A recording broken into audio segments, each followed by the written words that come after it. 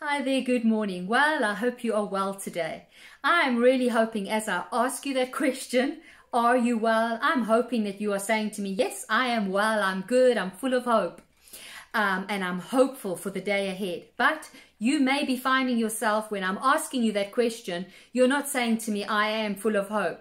But you may be saying to me, I am feeling absolutely hopeless today. I'm in a place where I'm feeling hopeless. It's a place of, of, of feeling just absolutely in a place of despair.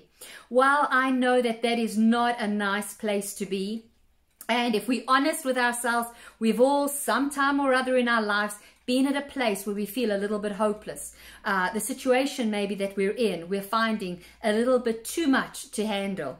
Well, sometimes, if we're honest with ourselves, sometimes it's the way we are in that place. Why? Because of choices that we have maybe made. If we're honest, it's not maybe always nice accepting that, but it is the truth.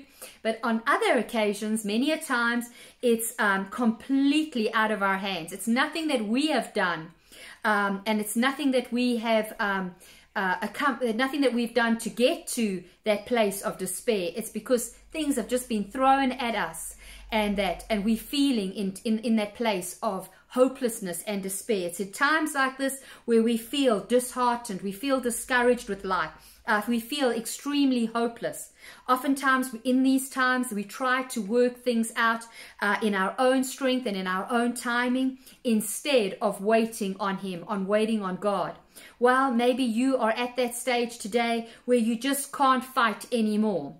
You just can't do this in your own strength anymore. While I love Isaiah chapter 64 verse 4 and I want to encourage you with this uh, scripture this morning. It says, since ancient times no one has heard, no ear has perceived, no eye has seen any God besides you who acts on behalf of those who wait for him. I love that. Who acts on behalf of those who wait for him. Do you realize today that you don't need to fight this on your own? You do not need to fight this on your own. You know, maybe you do need to fight this, but you do not need to fight it on your own. You've got God fighting it for you. You've got oh, God on your side, uh, and He's giving you victory even at this time in this area.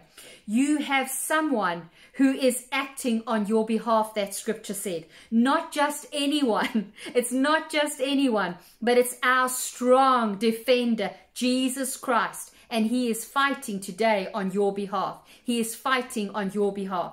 We know in Zechariah chapter 12 verse 8, it says, On that day the Lord will defend the people of Jerusalem. The weakest among them will be as mighty as King David.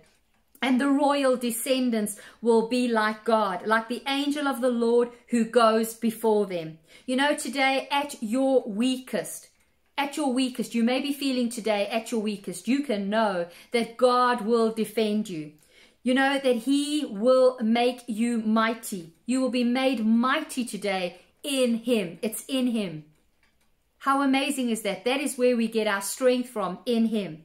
We know as well in Romans chapter 8, verse 37, it says, No, despite all these things, despite all that you may be going through, despite the situation or life whatever life has knocked at you or blown at you, you can know today that despite it all, overwhelming victory is yours through Christ. That is what that scripture says.